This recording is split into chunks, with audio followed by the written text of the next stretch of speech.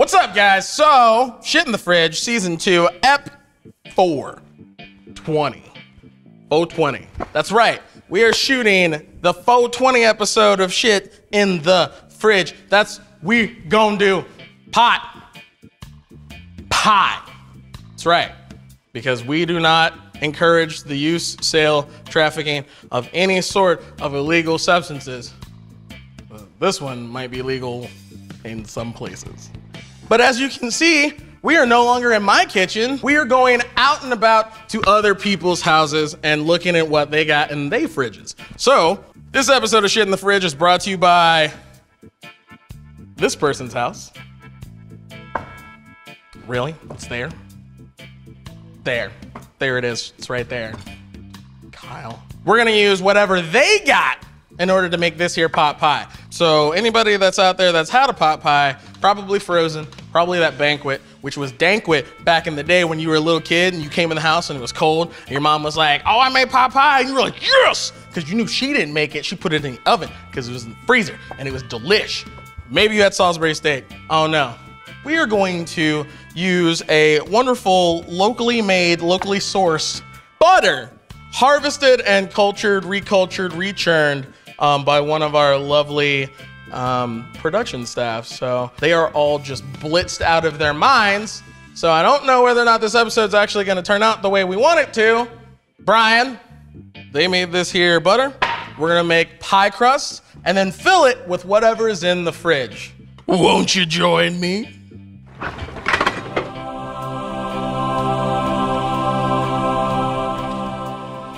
Well, hot damn. That looks like a lot of Indian food. Um,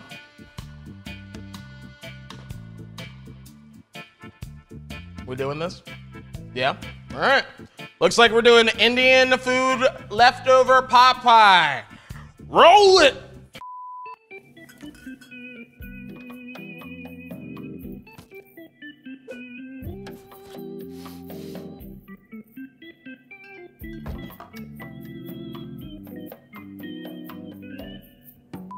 You know what?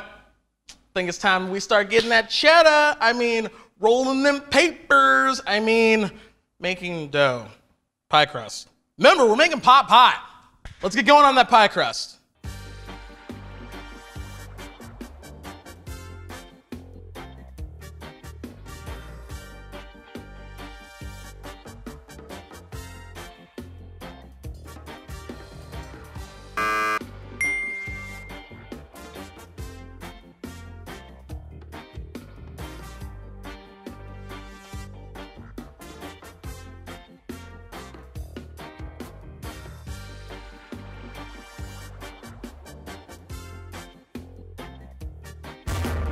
So we have tandoori chicken, frozen peas, aloo gobi, which is actually potatoes and cauliflower. It's a vegetarian dish. I know we're gonna add meat to it, but for all y'all out there, shit in the fridge, you wanna make this vegetarian, just don't add meat.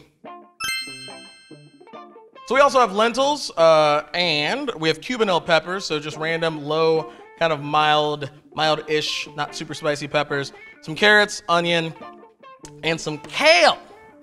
We'll make this all nice and cute and pretty. Also, everybody in this room but me is having a challenge with breathing and eating and giggling. So, guess we should probably just get through this. Brian, stop eating my M&Ms. So, let's get our carrots peeled. Now, I grabbed whatever is in this here house because remember, not my house. I did not upgrade. I still live in the hood. You know, you know why you want to wash and peel your carrots, guys? Because you don't want to eat that outside that's been in the ground with all the doo-doo. Get a quick dice on those. Next up, let's get our onion. Member, remember, we're using onions because that's what they had. If they had shallots, we'd use those. Maybe you should listen to Prep List Season 1, Episode 1, Onions versus Shallots. Find out why chefs like myself might prefer to use shallots over onions and why you, when you uh, maybe, I don't know, forgot about Valentine's Day, decided to go pick up an onion real quick because you don't know how to cut down a shallot. Next up, peppers. So, like I said, we've got Cubanelle. It's a mild pepper, similar to banana pepper or a wax, Hungarian wax pepper. Um, we're just going to slice this down the middle, pull out that there pith, them there pith. We don't want any of that. I mean, you don't have to pull out the pith at home. Typically, most people don't, um, just because they don't know no better. Don't stack your peppers like this and then cut, because that's how you cut yourself. Also, what's the most dangerous tool in the kitchen? Dull knife. So make sure your knife is nice and sharp. You don't want this knife to be dull. All right, so we've got our Cubanelles all nice and diced.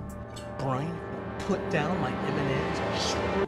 Peppers in the bowl. Next up, cut down this kale. Get this kale into a bowl. We're gonna take all of our tandoori chicken, uh, traditionally tandoori chicken, which is a yogurt spice marinated chicken that is then grilled um, over charcoal. We're gonna take all this off the bone, we're gonna dice it up, and then get it into the skillet. Never been to Japan before, but we wrote a song about three of us in Japan, and our label has to pay for it. Lonely Island? No one? Make sure your pan is and hot. How do we check to make sure that the oil is hot? A couple drops of water. Snap, crackle, crackle, lackle. Mmm, get some of that color in there. And then we're gonna add our peas. Those in there, and a little bit of salt. You notice why we're not putting any black pepper in here? Because this dish is already spiced pretty well from all of the leftovers that we're using. So we don't feel the need to add additional spices to everything. All right, so we're gonna let the onions start to, you know, get a little, little softer, soften those onions. A little bit of color on the kale, um, take some of the chill off of those peas. Next up, we're gonna slide everything over. Should be some oil still in your pan and get the chicken in the pan. So once again, we really just wanna take the heat off of this here chicken uh, tandoori and then once we take the heat off, we'll mix everything together. And then we're gonna add our aloo gobi, potatoes and cauliflower, and our uh, lentils. So the lentils are gonna be more or less what gives us that, that sauce, that filling sauce that you want, because traditionally when you make a pot pie, uh, you make like a gravy with all your vegetables, your chicken, your beef. You do all of those things traditionally, but shit in the fridge. Next up, we're gonna add some of our aloo gobi. Oh, Christian, why aren't we cooking this all the way through? Why are we not doing all things in the nice sear? Because it's a pot pie. It's gonna go in a dish. Then we're gonna roll out the pie crust, we're gonna cut it, and then we're gonna put it on top and bake it in the oven at 375 for like eight or nine minutes. Heard? You all are out there are like, when's he gonna shut up and show us the end of the episode? Last thing, into the pan, we're gonna put our lentils, some of that sauce, that lentil sauce. And we're going to bring everything to a mild boil. A little bit of simmer. We're going to bring it down now to a simmer. Get it nice and crispy. Now you can hold this off to the side and just let it simmer for a little bit while you put, uh, roll out your pie crust and then punch it, cut it, whatever you gotta do it, touch it, bring it, babe. Watch it, turn it, leave it. I'll never know the last word to that song. You know, whenever I'm struggling, because I've had some struggle ingredients. I just, you know, mumble just like that song and then the flip it, reverse it, talking a lot so that this boils, so that they don't play elevator music and write a bunch of subtitles underneath me. Are y'all hanging in there? I'm pretty sure you're not. I'm pretty sure you probably have some movie about a bunch of puff puff pass pass on on your laptop or you're watching this on your laptop and watching that on TV, or you just have your phone and you're at work giggling in the corner. Stop! Go back to work. How you gonna pay for all the good good? You ain't got no job, baby. I got this right here. You can do one just giant pot, like cast iron skillet, put everything in it, roll out your pie dough, put it on top, poke some holes in it, put it in the oven. You do that. We're gonna do the tiny ones because we don't want someone to just come by named Brian and just eat the entire pie crust off the top and then run around in his underwear for like an hour. That happened once. Into the pan goes all of our good good, all of our filling, our Indian pot pie curry filling. Indian stuff in the pot. Don't fill it all the way up to the top. You know why? Because you're gonna put the pie crust on there and you don't want the pie crust to bubble. It's already gonna bubble over because we are struggling. Remember, Struggleville, Rona's not over. We are still struggling. It's still Lord of the Flies out there. Just today, it's Lord of the Highs. No lows. You're gonna put the pie crust on top, you're gonna poke holes in it, you're gonna put it in the oven. Eight minutes ish, 375 degrees, middle rack. If you want to, put all this into one giant cast iron, roll out your pie crust, poke some holes in it, put it on top, crimp those edges into the oven. You can do one big giant thing. Looks like it's time. We get that dough out that dough, roll it out on the flow, and then eat some mo.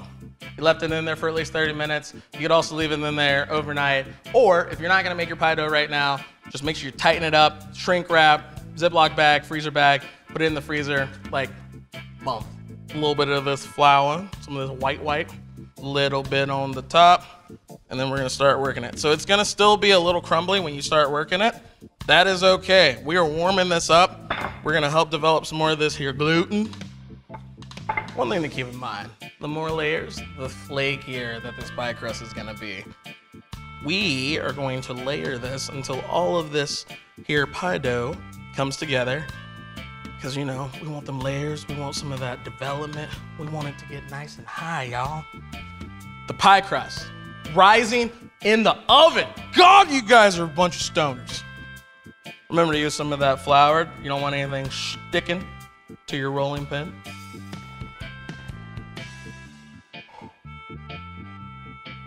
Y'all, y'all gotta open the windows. Like I just can't. We're gonna take, because they were kind enough to have extras of these, a couple of these here pans. Now, if you don't have a pizza cutter, pizza roller, you don't have a knife, if you don't have a knife, uh, you obviously could just do the classic technique of, yeah, like that, and maybe it works and maybe it doesn't.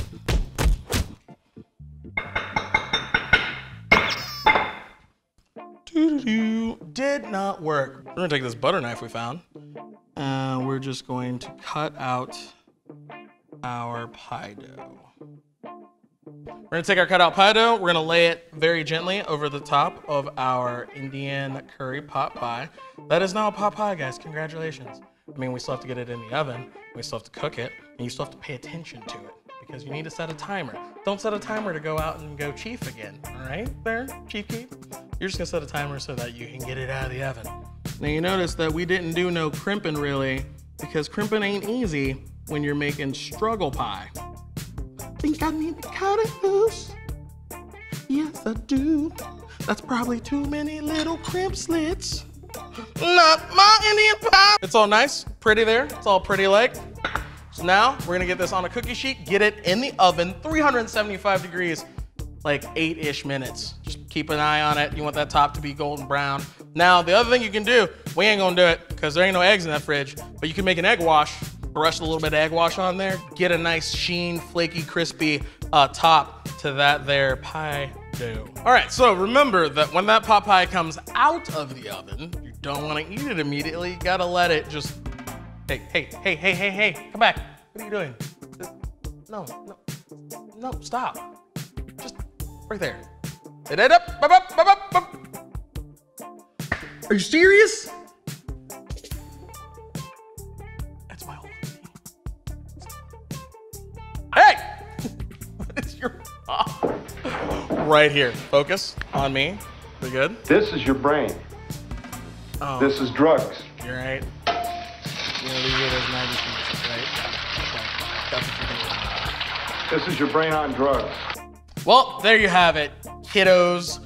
Our 420 pot pie with an Indian pot pie twist using the shit in the fridge, bunch of takeout, and our local butter pot pie pie crust. Now, I'm just gonna go ahead and preface this. Don't eat this all at once. You're gonna have a horrible time. Like, then you go from Struggleville to struggling around town on the struggle scooter. Christian Gill, shit in the fridge, stay hungry. Snacks? Sir, uh, I feel like a like a slice of butter melting on top of a big old pile of flapjacks.